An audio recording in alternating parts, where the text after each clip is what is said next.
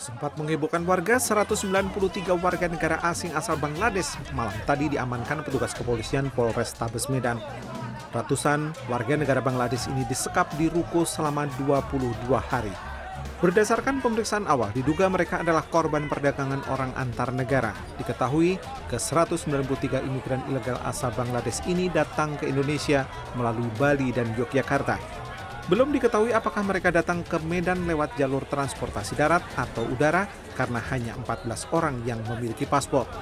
Salah seorang imigran menuturkan, selain tak cukup makan, WNA ini juga diperlakukan kasar oleh oknum agen tenaga kerja. Sementara itu, para warga negara Bangladesh ini mengaku dipungut 13.000 ringgit Malaysia. Nah, untuk menyaksikan video lengkapnya, klik link di bawah ini nih.